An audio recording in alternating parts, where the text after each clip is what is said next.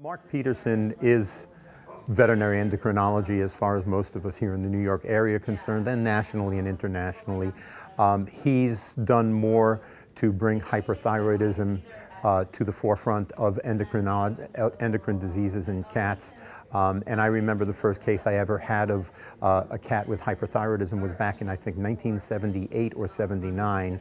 And um, that was about the time that Mark was starting to study it, and I don't think many people knew about it. And when I called up the Animal Medical Center and asked to speak to somebody and consult with somebody about this very difficult and challenging geriatric cat that we had with intractable diarrhea, weight loss, and all of the typical signs that we now know to be attributable to hyperthyroidism.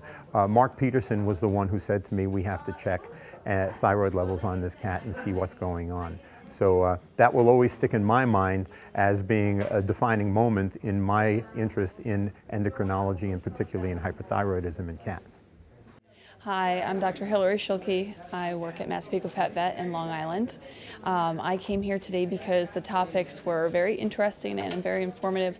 Um, it's nice to be updated on new updates, recent findings, uh, new studies, and recent developments in terms of the best care and treatment that we can provide for our um, our patients. And I think that's exactly what was done today. It was um, it was excellent. Uh, just wanted to make sure that I was practicing the best medicine I could with these conditions and offering the best treatment options for my patients so that we can give them quality of life and hopefully prolong their life as well.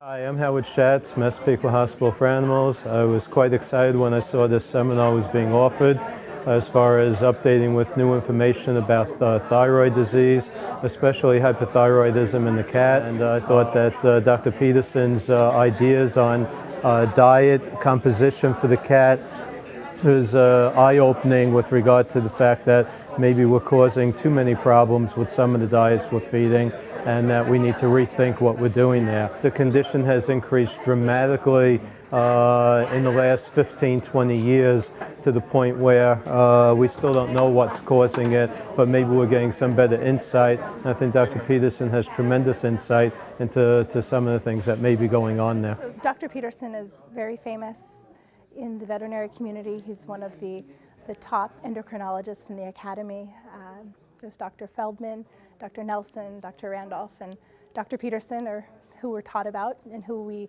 read about. And so I feel very lucky to be in New York City and be able to refer patients to him and also learn from him. Everything.